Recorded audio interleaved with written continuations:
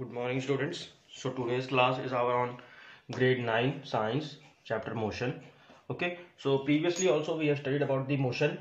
We have studied about its definition, types and mostly the that is in your chapter that is uniform and non-uniform motion. Okay. So this was what we have studied in the previous lecture. Now in today's lecture we are going something related to this. Okay. From this chapter in this today we are first going to discuss about the concept distance and displacement. Okay? This is a very important and a very simple concept distance and displacement. In this distance and displacement what we are going to do is listen suppose this is a rectangular field. Okay? This is a rectangular field. So if we talk about this rectangular field you know that this is a length and this is the breadth. Suppose this is 5 2 and similar this also 5 and this also will be 2 so now suppose this is a point A. From the point A, a boy, from the point A, a boy started walking. Okay. From the point A, a boy started walking. He walked over here for 5 meters up to this. Then he again moved from here 2 meters, then again back 5 meters, then again over here 2 meters. So he reached over here. If we talk that how much distance he has covered, he has covered this 5 meter plus 2 meter then again this 5 meter and then again this 2 meter. So the total distance or also we can say it is the perimeter going around a path okay? So in simple words if we calculate the distance the distance around this is 5 plus 2 7 and 5 plus 2 7 7 and 7 is 14 meter. So 14 meter is the total distance he has covered. But if we talk about the displacement what is displacement in this case? Displacement in this case is 0 meter how how the displacement is 0 meter actually displacement the definition of displacement is that it is the shortest distance. What? It is the shortest distance. It is the shortest distance that is covered.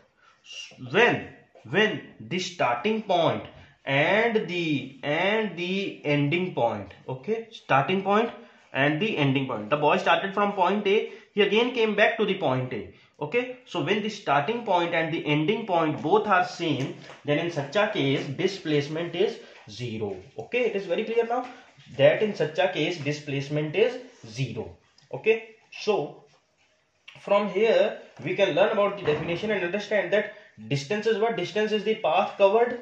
Okay? Distance is the path covered in the time. Okay? Time taken to cover the distance. Okay? So but displacement is zero now, the definition of displacement that it is the shortest distance. Okay, what? It is the shortest distance. Now, how, where come we will find this shortest distance? Like suppose, if we now talk about a circular field. Okay, let us talk about a circular field and this is a point A. Okay, from where two boys will start. Okay, from the point A, two boys will start okay? So when they start from the point a so what happens? These two boys the complete track the complete circular track is suppose of 200 meter. Okay? The complete track is suppose of 200 meter. So when the boys started walking let us suppose let us suppose that they walk that they walk the boy one the boy one has walked 400 meter and boy 2 has walked 300 meter. So now if we talk about the boy 1 he started from this position okay? So this is the first round. He has completed 200 meter okay? Again he started the second round. Again he has completed the 200 meter. So by taking the two rounds by taking the two rounds he has completed how much distance? 400 meter. So in this case in this case what is the distance? The distance is 400 meter. Okay the distance is 400 meter. But if we talk about the displacement again displacement will be zero. Why? Because the starting point as well as the ending point after the whole journey is same. So when the starting point and ending point both are same then this is going to be zero. Now let us consider the case of second boy. Okay let us consider the case of second boy so we will write over here this was about the boy 1 so now this is about the boy 2 so if we talk about the second boy he has covered a distance of 300 meter as given to us okay? So 300 meter while started walking he first covered 200 meter okay? The total track he covered 200 meter. Now how much more is left? 300 so the total track is of 200 so 100 will be half. So he moved more 100 so this was where the boy b completed.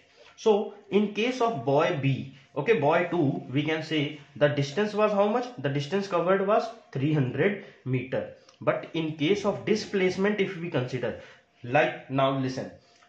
When the boy 2 started walking he first covered 200 meter. So now over here while completing his first round after his first round what happens? He has covered a distance of 200 meter but the starting point and ending point are same so displacement is zero. Displacement till here is zero. 200 meters he has covered. Now more distance he has covered up to how much? The more, more distance he has covered is 100 meter. So in this case if we talk about so the distance total is 300 meter but the starting and ending points are not same. So the displacement is only 100 meter. So this is how we tell about distance and displacement.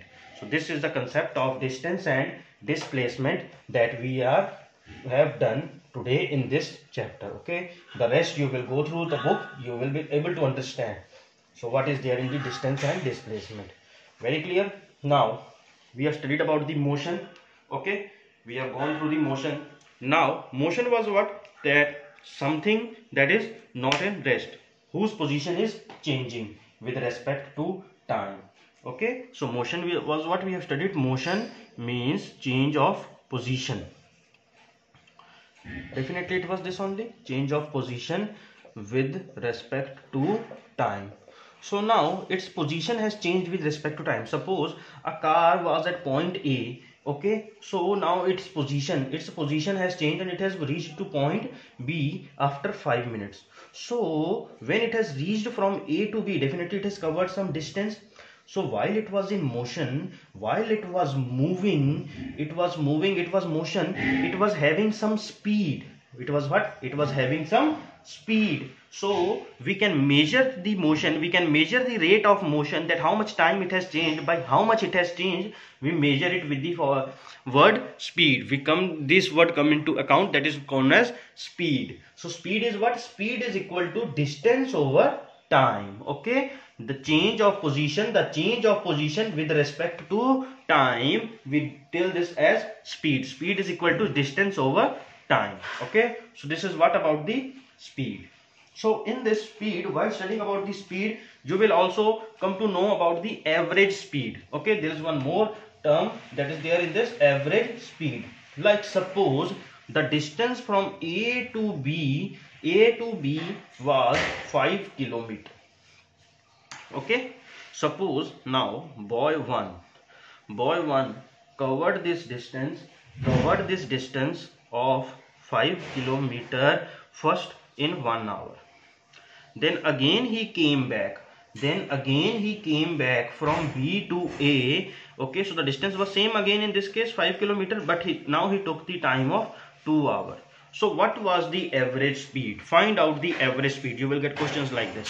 So average speed is what? Average speed is total distance total distance over total time. Okay total distance over total time so now what is the total distance in this case? 5 kilometer and 5 kilometer. So total distance is 10 kilometer. And what about the total time he has taken? Total time he has taken is 2 plus 1 3 hours. So this is the your average speed that with which he has taken. So the unit for the speed the unit for the speed it may be kilometer per hour or meter per second keep this thing in mind. The unit for the speed is kilometer per hour or meter per second. With the formula for the average speed you might have also come to know that how we are calculating the units of the speed. Okay the units of the speed is simple. Distance is in meter. If distance is given in meter so time should be in seconds so it is meter per second. If distance is given in kilometers so time should be in hours. So we can calculate it as well. Okay but if the things are not like this in the numericals you can also change the data. It is very simple. How?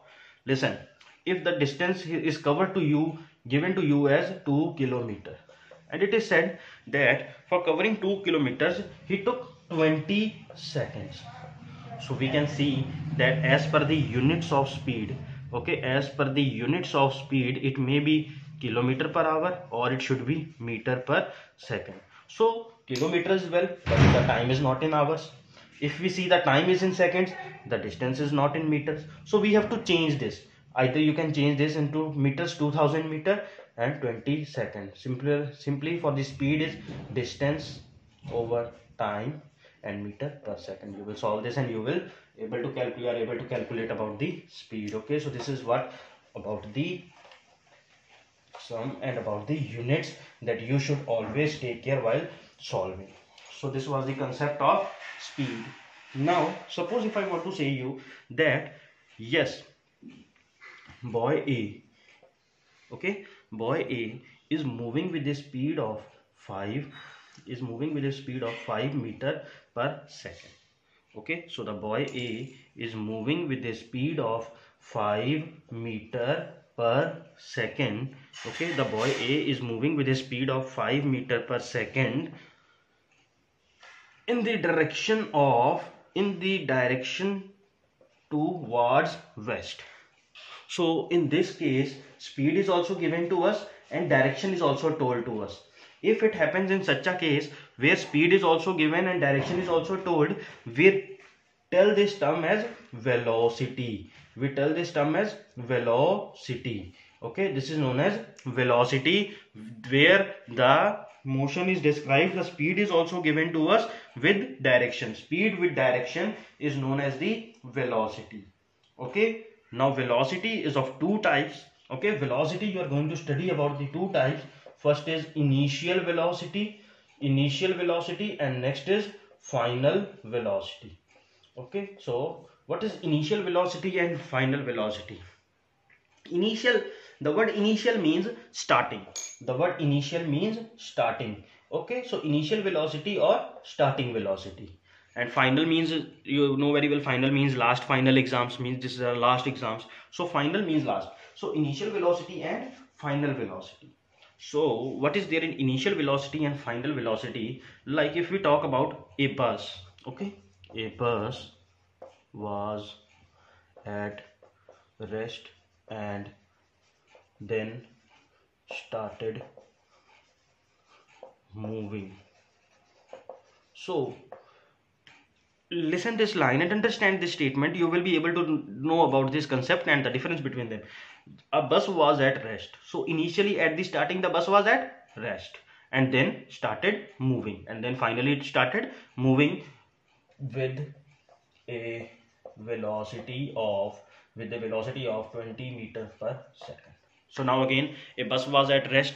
A bus was initially at rest. Starting at the starting where was the bus? The bus was at rest. Um, rest means not moving. So starting velocity is termed as u. So what was u? 0 meter per second. Okay?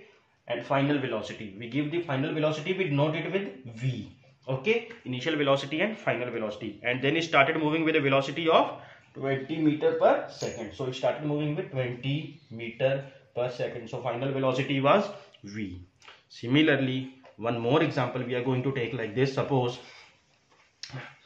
again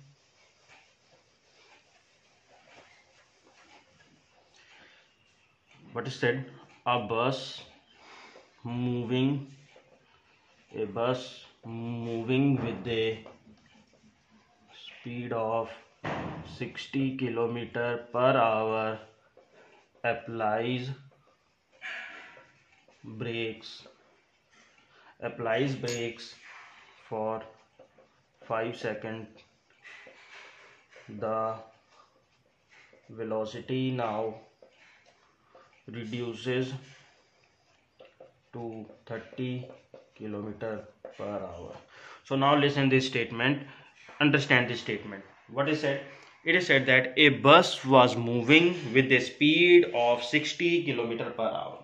So now bus was moving with a speed of at the starting of the question at the starting of the line what is given to us? That initially the bus was moving with a speed of 60 initially that starting when the starting of the question is done that at the initial starting time the velocity was 60 kilometer per hour. Please do not get confused that sir that at the starting it was at rest it was at home it was at bus stand or somewhere. No we are not going to think that much. Why? Because whatsoever is given to us in the question we will think according to that that at the starting bus was moving with a speed of 60 km per hour. So this is the u initial.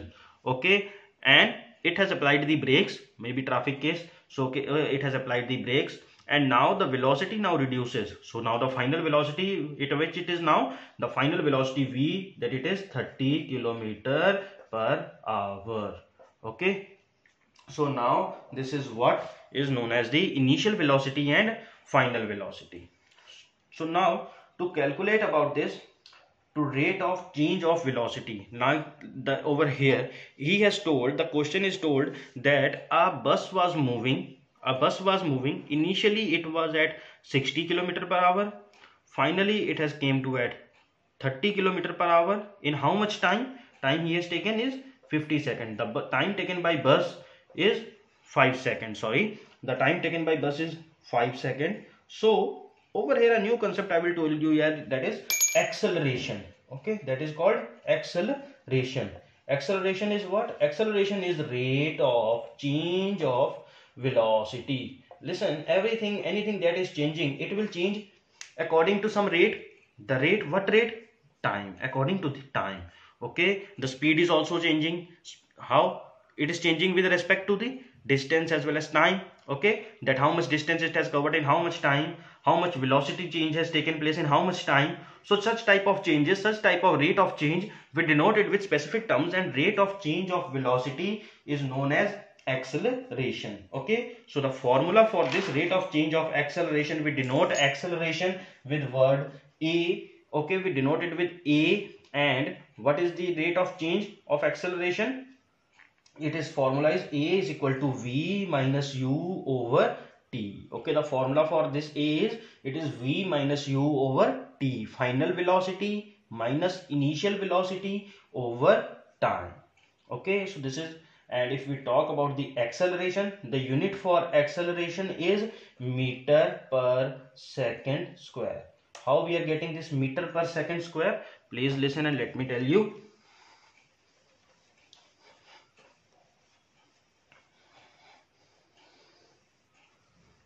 now suppose like the formula for acceleration is v minus u over t. So now in this case v minus u over t let us suppose that u was 0 so what a will become? A will become v over t.